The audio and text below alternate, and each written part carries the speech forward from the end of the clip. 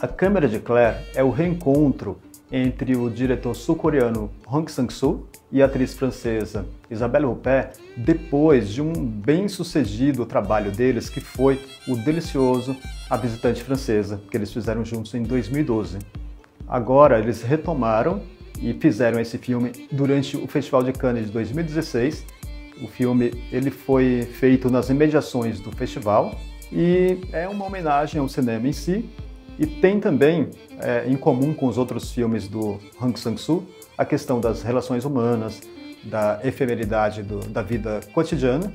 É um assunto que o diretor domina muito bem. É, em todos os filmes ele trata dessas questões com muita delicadeza e mais uma vez ele acertou.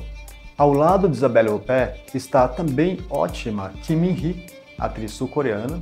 Ela, aliás, é a primeira atriz da Coreia a ganhar o prêmio de melhor atriz no Festival de Berlim, Urso de Prata, pelo filme Na Praia à Noite Sozinha, também dirigido por Hong Sang-soo. Por esses motivos todos, você deve assistir agora mesmo A Câmara de Claire.